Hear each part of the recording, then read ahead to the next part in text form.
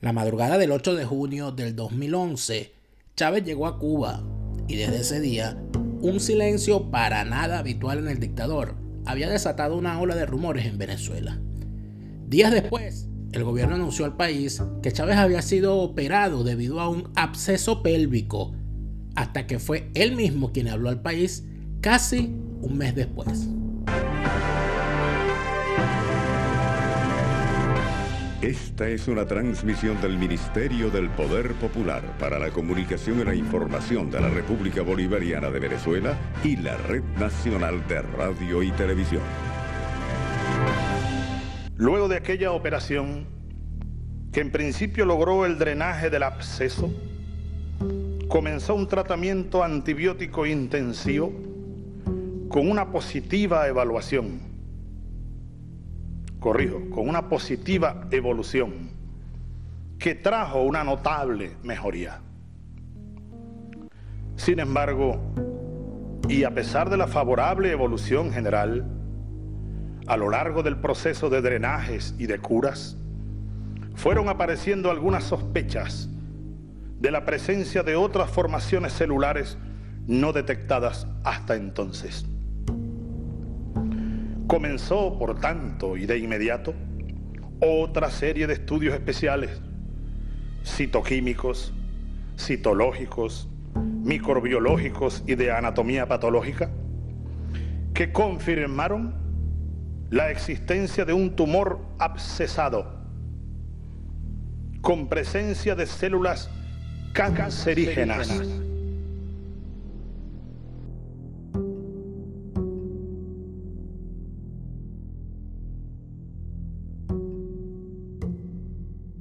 Desde ese momento sus idas y venidas a Cuba eran innumerables y el propio Chávez empezó a mentirle él mismo al país, como siempre, pero esta vez sobre su estado de salud. Aquí estoy, en recuperación, pero aún recuperándome. Por tanto, por tantas manifestaciones de amor, el amor es el mejor remedio para cualquier enfermedad. Gracias por hacerme llegar ese baño de amor Continúo entonces eh, conversando con todos los ministros, en esta oportunidad con el canciller Nicolás Maduro. Esta mañana aseguraba que ya había finalizado su cuarto y último ciclo de quimioterapia. Aseguraba entonces que se estaba recuperando del efecto de los ciclos continuos de tratamiento, medicamentos. Aseguró que sus signos vitales estaban evolucionando favorablemente. Esto en un contacto que realizara a las 7 de la mañana con el programa Despertó Venezuela. Entonces yo, ahí aparece la canción yo no soy monedita para caerle bien a todos. Pero aún aquellos a los que yo no le caiga bien, dense cuenta. Ahí estoy viendo la cara a los jóvenes periodistas. Ponme en la cámara, por favor, a para ver la cara. Lamentablemente usted no me puede ver la cara, pero me la conocen bastante ya. Ahí están las jóvenes periodistas. Alba, Alba, ese rayo, Alba. Alba, no sé qué número tiene ahí. Y la joven de radio. ajá, de Noticias 24, ¿no eres tú?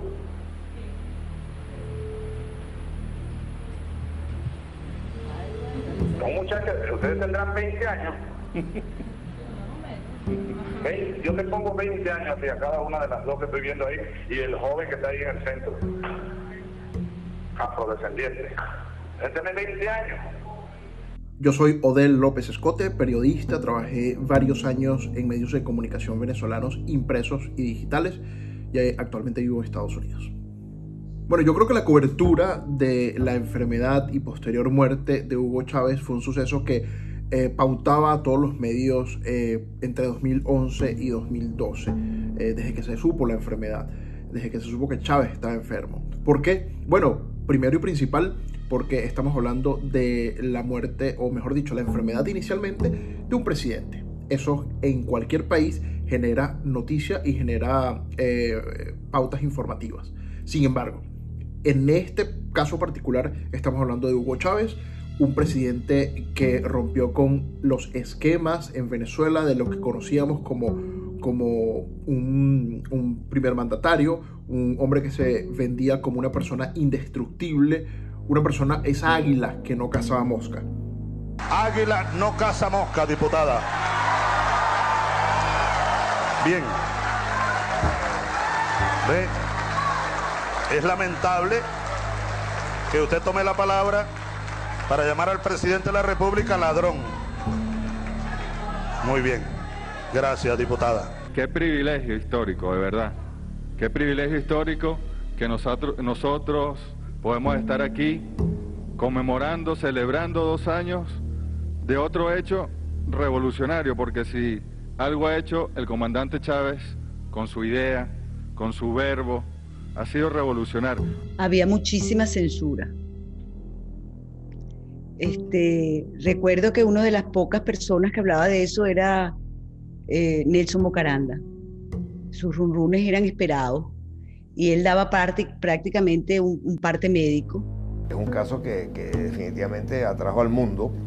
Además me tocó desmentir a medios importantes del mundo que todavía inventaban y decían cosas. Y yo nunca dije, esto es mentira, esto es falso. Yo decía lo que era creo que sí es ciertamente para mí, para mí yo, creo que con eso yo coroné, porque siento que de verdad después de tantos años y eso, la información más dura y más difícil, y más un gobierno como este, eh, con toda la situación que tenemos en el país, la censura, los medios, el drama que tenemos los periodistas, la libertad, el acoso, todo eso, pues pude vencer todos esos obstáculos que por lo general hubieran sido en una democracia natural y normal, a lo mejor hubiera sido hasta el propio, no, hubiera sido noticia para mí, a lo mejor el gobierno mismo lo hubiera informado.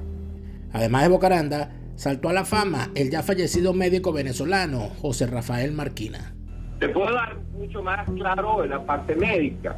Pues el presidente pues tiene un cáncer sumamente avanzado, es un sarcoma, es un tumor que mira, ya ha fallado muchos tratamientos, ya ha fallado la cirugía, ya ha fallado la radioterapia, ya ha fallado la quimioterapia, tumor continúa progresando. Mira, lamentablemente hay que entender la realidad. El curso natural de la enfermedad es a continuar una progresión de esta enfermedad. Él, tenía una fuente militar, una fuente cercana de, de, adentro, eso era comprobado, porque al final él hablaba y había reacciones del régimen. Entonces, esas reacciones incluso obligaron a que lo trajeran. En alguna oportunidad cuando lo viste con la cara gorda de, de tantos medicamentos que habían, pero a Marquín hablaba y reaccionaba el régimen. Es decir, que lo que él reportaba era de alguien que estaba en su primero o segundo anillo. Es decir, más allá de eso no. Es decir, no era un chisme, no era, no, él tenía mucho conocimiento de causa de lo que estaba haciendo y ese conocimiento era de una fuente directa y cercana a Chávez. Chávez hacía muy pocas apariciones públicas y por supuesto se suscitaban enormes dudas ante tal desinformación por parte del régimen. Chávez estaba completamente infiltrado y se sabía de la, de la enfermedad. Ahora en Venezuela no se podía hablar de eso, muy pocos lo hacían.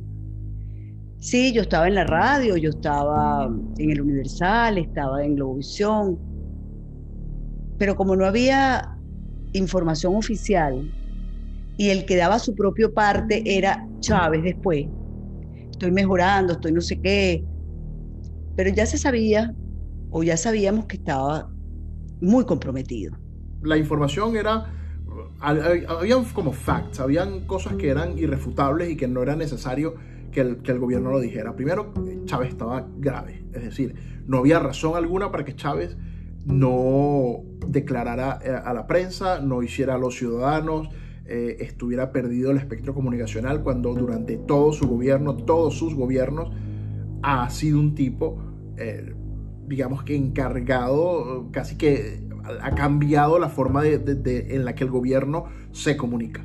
Entonces, eh, con todo ese panorama, con todo ese background, era, digamos que, impensable que si Chávez estaba tan bien como, como lo decían, pues estuviese desaparecido. Muchos em, creían que estaba de reposo, es decir, eh, tratando de, de recuperarse por completo para no volver a recaer el rumor más claro que había, digamos que el, más persistente era, se hablaba de un cáncer, de un tumor, y, bueno, las complicaciones que puede tener un tumor en alguna persona son graves, más si, si, si tienes que llevar, si tienes que eh, hacerte tratamiento de, quimioterapia, radioterapia, en fin. Eh, creo que la, informaciones varias, pero la, la, certeza era que Chávez estaba, era un tipo que, que, estaba grave, que era una persona que su salud estaba comprometida aún con todo eso, quizá por el entorno en el que vivíamos, en cierta forma era, no quiero decir impensable, porque es que nadie es eterno, pero, pero eh, era, era difícil creer eh, un escenario donde en aquel momento Chávez se muriera. Y bueno, y pasó. Simpatizantes chavistas auguran que miles de manifestantes saldrán a las calles a acompañar al actual mandatario de los venezolanos, Hugo Chávez. Cuando uno siente a Chávez, se le mira, uno se eriza todo, mire, es algo que uno ni siquiera sabe explicar. Primera vez que voté, voté por él y, y yo seguiré apoyando por todo el tiempo. El oficialismo pretende superar a los miles de acompañantes de Enrique Capriles este domingo. Sin embargo, se espera que el mandatario no acuda caminando debido a su delicado estado de salud. Sabiéndose enfermo terminal, un Chávez hinchado convocó nuevamente a una farsa electoral donde hizo de showman en cada pueblo del país algo así como una gira de despedida de un grotesco megalómano. Amor, lo nuestro solo fue casualidad, la misma hora, el mismo bulevar. ¿Qué más? No temas, no he venido a hacer llorar a un gato herido, ya lo ves, la vida es así. No se metan conmigo. Tú no puedes ocultar una verdad cuando físicamente tienes un deterioro. Cuando un hombre que hablaba cinco y seis horas, hablaba 15 minutos, porque e, eso fue. Mira, el esfuerzo que hizo ese señor Chávez para estar en el meeting de cierre de ese 2012, 12, este, donde le llovió incluso y se mojó. Pero si uno ve el video bien, Ahí está un Chávez cojo, con adolorido.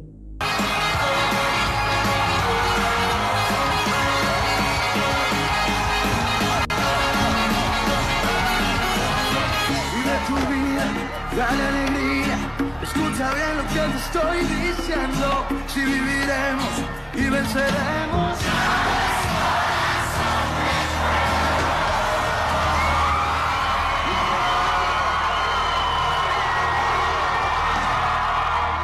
Y por supuesto, a nadie sorprendió el resultado de ese inmenso fraude. El candidato Hugo Rafael Chávez Fría, con el 54.42% de los votos, 7 millones 444.082 votos. Felicitar a la dirigencia opositora porque han reconocido la verdad, han reconocido la victoria del pueblo. De hecho, hubo un capítulo, el de la sombra, que me tocó analizarlo, que yo creo que fue una de las cosas más vistas en el noticiero de, del Meganio, lo que hacíamos. Eh, ¿Te acuerdas cuando aquella sombra en el Palacio de Miraflores pasó por el cuadro de atrás? Yo después lo analicé con gente aquí, eh, pues brujos, esotéricos, eso de, cubanos, y bueno, llegamos a la conclusión en un análisis del video, en un análisis concienzudo del video, que la muerte lo estaba buscando. ¡Hasta la victoria siempre!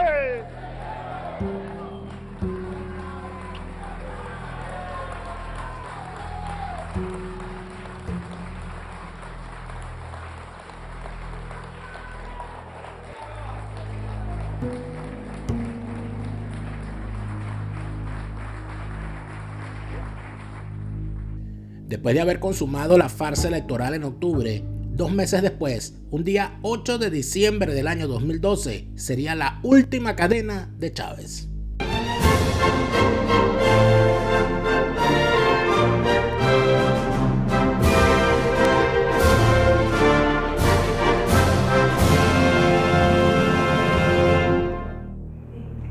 Sábado 8 de diciembre, 9 y media de la noche, un poquito más, ¿no?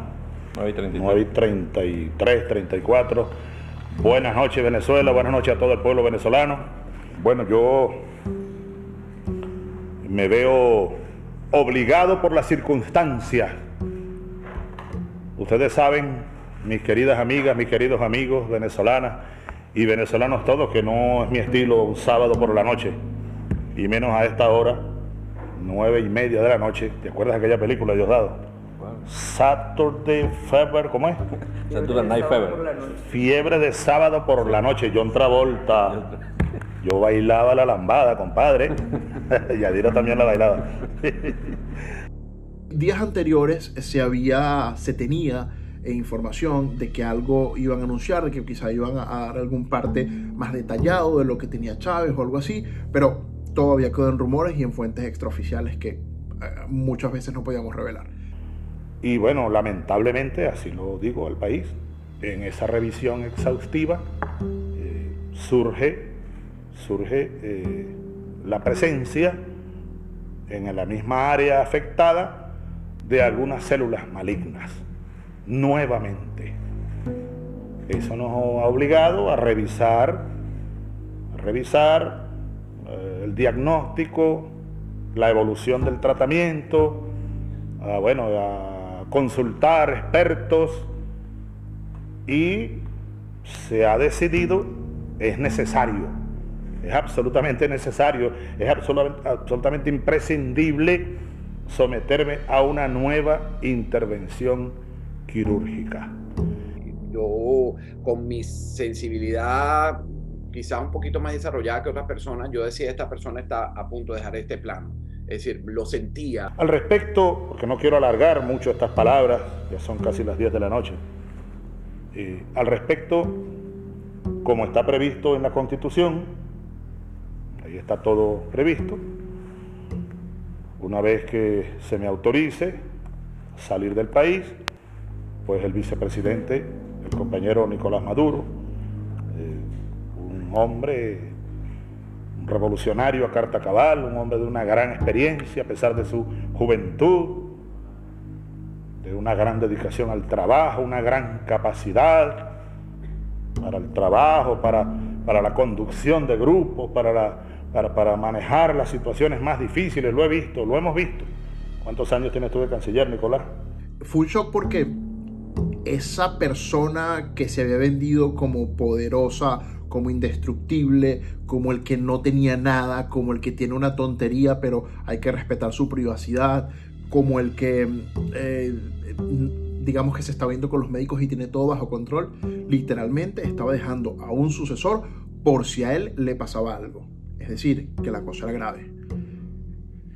Eso mm, generó demasiada incertidumbre y desde ya antes, desde, eh, desde, algunos meses atrás, en los medios de comunicación inclusive se hacía la caja negra, eh, que la caja negra es básicamente un, si trabajas en, prensa escrita, es, todo un, eh, digamos que una configuración dentro del sistema en el que trabajas y una diagramación eh, pre, para, preparada, como lista ahí por si algo ocurre, por en este caso la caja negra de Chávez, por si a Chávez se llegaba a morir, es decir, no, nadie sabía que eso iba a pasar. Eh, digamos que creo que hasta el 8 de diciembre de verdad nadie se le pasó por la cabeza que eso podría pasar. Ese día, aquel invencible habló por última vez al país. A partir de ese momento transcurrieron tres meses de desaparición de Chávez y la vocería la asumirían el entonces vicepresidente y presidente encargado Nicolás Maduro y el ministro de Comunicación Ernesto Villegas.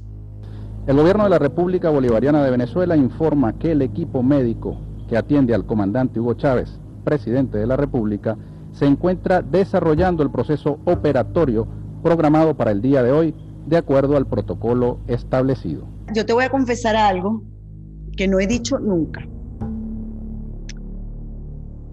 yo, yo tenía, o mejor dicho, yo tengo amigos eh, que nos daban o que me daban un parte de lo que estaba pasando. Si yo te digo que yo vi la primera operación de Chávez, tú a lo mejor no me lo vas a creer y muchos de los que me están viendo no me van a creer, pero la vi. Estaba grabada y la vi. Por supuesto, terrible, ¿no? Evaluamos el proceso operatorio y queremos decirle a los venezolanos que la operación del día de ayer efectivamente fue una operación compleja, difícil, delicada, lo cual nos dice que El proceso postoperatorio va a ser un proceso también complejo y duro. Yo tengo informaciones terribles que no, no vale la pena que te dé. Pero Chávez quedó imposibilitado en muchas cosas desde la primera operación. Y eso, eso, lo, eso, eso lo sabe su entorno.